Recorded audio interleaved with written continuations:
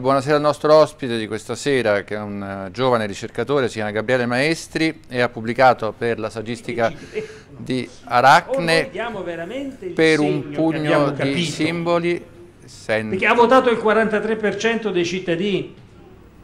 Allora, la sento Bendicenti, la sento. Anch'io sento lei, adesso per un attimo ho anche sentito la voce, se non ho...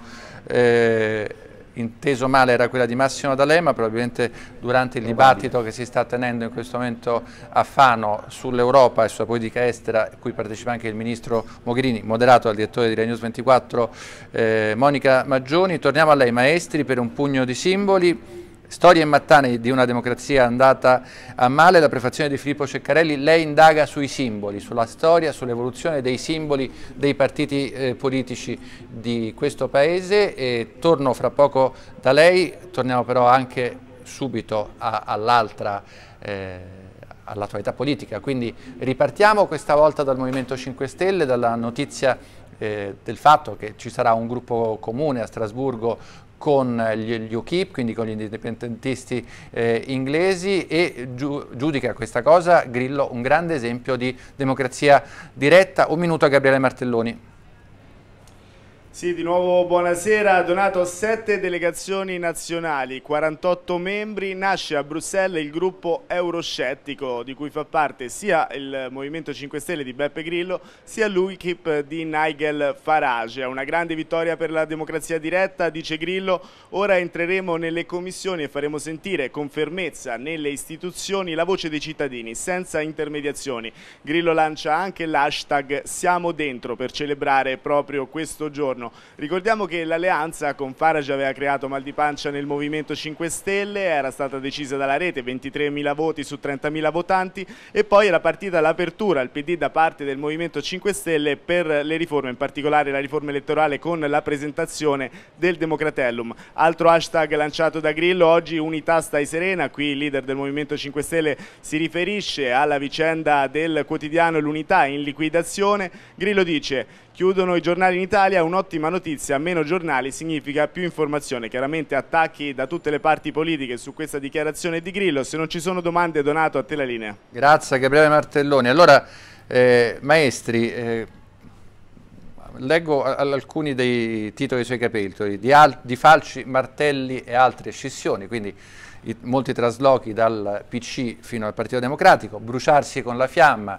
anche lì riferimento è ovviamente dal, dal movimento sociale di, di, di, Almirante, poi di Rauti fino all'Alleanza eh, Nazionale e poi le rose e i garofani, quante ce, sono, ce ne sono state dal Partito Socialista e poi le varie eh, evoluzioni. Allora cosa tiene insieme, diciamo così, questa continuità nel cercare appunto l'identificazione con un simbolo?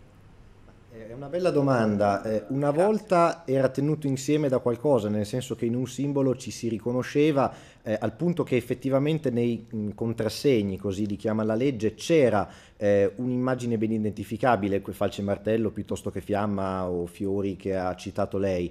Il problema è che oggi è molto difficile tenere insieme qualcosa o immaginare un filo perché eh, un simbolo praticamente non c'è più. Siamo di fronte quasi sempre a dei marchi non molto diversi da quelli che troviamo sugli scaffali di un eh, supermercato che normalmente frequentiamo, eh, fatti di colori nazionali che dicono piuttosto poco se non il fatto che siamo italiani, ma forse è un po' pochino per dei partiti che si candidano a governare o perlomeno a contribuire al governo.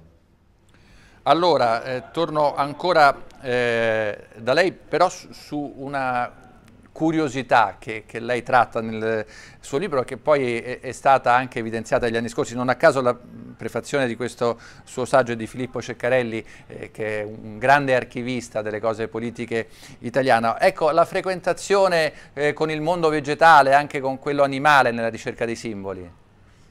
Guardi, eh, posto che Filippo è stato molto gentile a fare la prefazione, è stato un inseguimento che lui ha accettato eh, alla fine, ma eh, è qualcosa che è ai limiti, direbbe il mio amico e collega eh, di termometro politico, di cui sono caporedattore Livio Ricciardelli, è un deposito di cialtroneria, lo dice lui, lo dice Filippo, perché di fatto si è cercato quasi ogni declinazione botanica e quasi ogni declinazione animale. Eh, quelli che vedo che stanno scorrendo sono alcuni eh, dei simboli, vedo che è stata fatta una bella carrellata e non sono nemmeno tutti. Diciamo che si è cercato di esplorare qualunque eh, classificazione lineana possibile con qualche frequentazione particolare perché di animali chiaramente eh, tutti ricordiamo l'asinello eh, piuttosto che l'elefantino, ma poi ce ne sono stati tanti altri, dall'orsetto che sembrava un peluche o più o meno minaccioso, a gabbiani che ancora adesso ci sono, eh, a vegetali che in buona parte si sono appassiti e molti animali di fatto si sono estinti.